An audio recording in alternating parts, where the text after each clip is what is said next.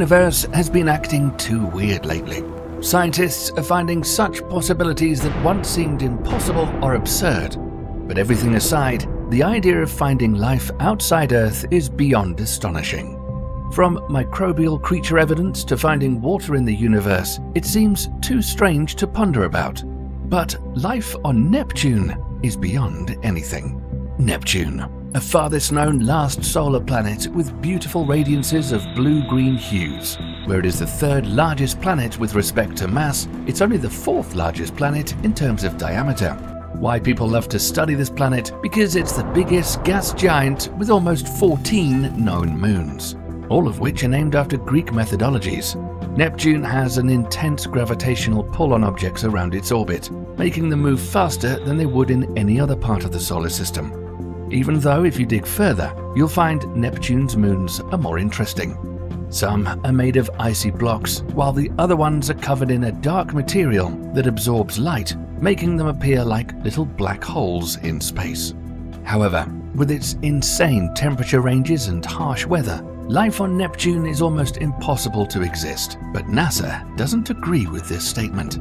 The scientists are way too sure that there must be something strange happening on the surface of Neptune, since it's quite far from Uranus, but their temperature is remarkably similar. That sounds too good to be true. It all started way back when Voyager 2 reached Neptune in 1988 and observed some six new moons wandering around it. It captured their images, particularly the orbiting planet's ring, and noticed harsh and violent windstorms of up to 1500 miles per hour, known as the Great Dark Spot. This storm was unexpected and raised questions about the extreme winds on Neptune. Because of quite crazy temperature ranges, how was the wind supposed to offend Neptune's surface?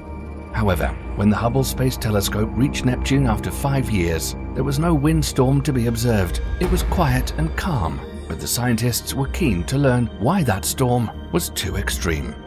However, while researching around Neptune, scientists were baffled by another shocking sight. Neptune is way too at a distance from the Sun, but still, it's warmer, whereas Uranus, which isn't too far, wasn't this much warmer. It was such a puzzling situation to evaluate what was actually going on in this part of the universe. Anthony Del Genio of NASA Goddard Institute for Space Studies, GISS, said Voyager's measurements show Neptune emits more than twice as much heat as it absorbs from the Sun, while Uranus does not. Jupiter and Saturn also emit almost twice as much heat as they absorb, but Uranus does not. Uranus is the oddball. This makes us all ponder how Neptune is generating heat while Uranus can't have it. Is there an internal heat source or something more intriguing? Some scientists also argue that this heat might not form an internal effect, but instead comes from a burp. Tollefson said, The burps are convection, which may happen in discrete episodes separated by long time periods.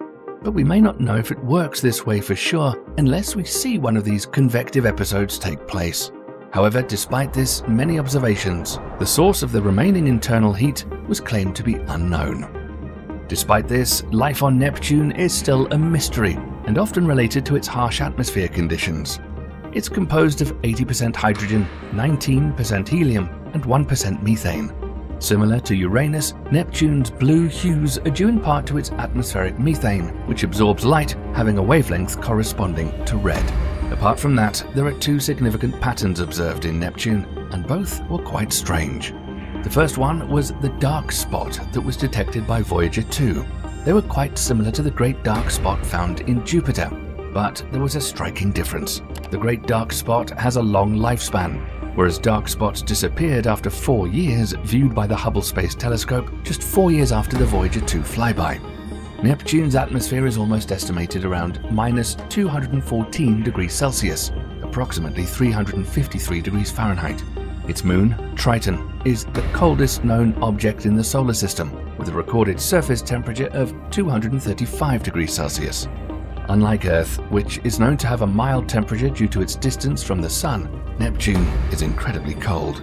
If their life really exists, it would need to have evolved mechanisms to survive in temperatures that are unimaginably frigid for Earth standards. The pressure in Neptune is most likely too extreme and volatile for organisms to adapt to. Its hypothesized in-depth ocean exerts tremendous pressure, much greater than the deepest parts of Earth's oceans. Life in Neptune is supposed to tolerate this infinite pressure, otherwise, without cavities and air pockets that could be crushed. There's another sign also.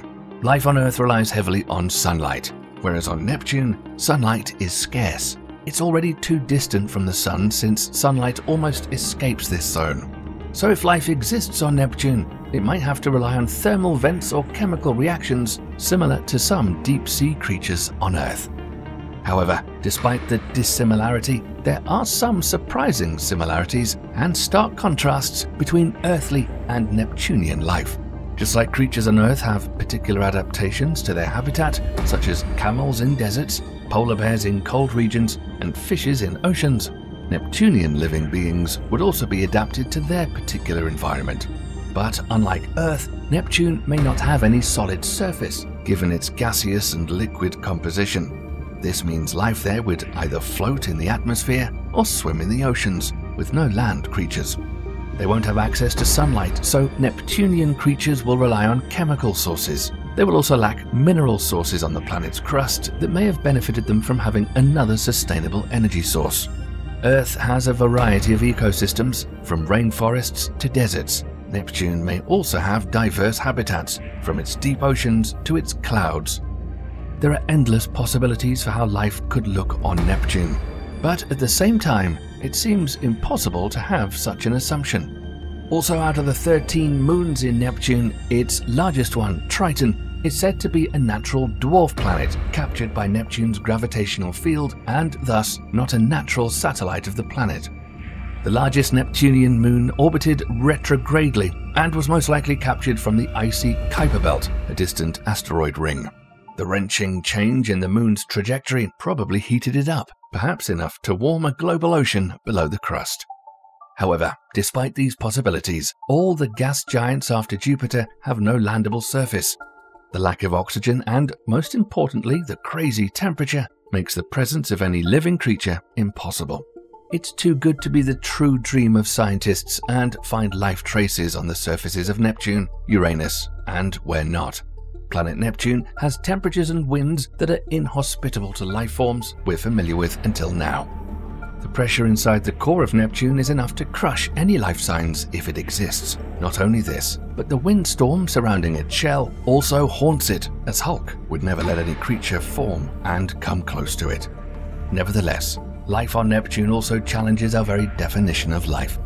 We usually understand the living organism on Earth as carbon based, but the potential existence of life on Neptune might challenge this notion. If life would ever exist in Neptune, it would have completely opposite biochemistries. The living organism may be silicon based or rely on any other elements. Also, we've been familiar with the habitable zone, where conditions are just right for the liquid water to exist and so has life but having life symptoms on Neptune expands our understanding of this zone, suggesting that life might exist even in regions previously considered too cold or inhospitable. But despite near to no possibility of life, scientists are still determined to launch missions to reach Neptune. They're designing probes and rovers specifically to study Neptune's atmosphere, oceans, and any other potential life forms in greater detail. NASA is even tempted to develop equipment that can withstand Neptune's cold temperatures and high pressures and should be sensitive enough to detect any form of life if forming. Until yet, it's all just an assumption, but no one knows if life can really form this far from Earth. So, until then, let's end this video here. Make sure to hit the subscribe button and let us know your take on life on Neptune.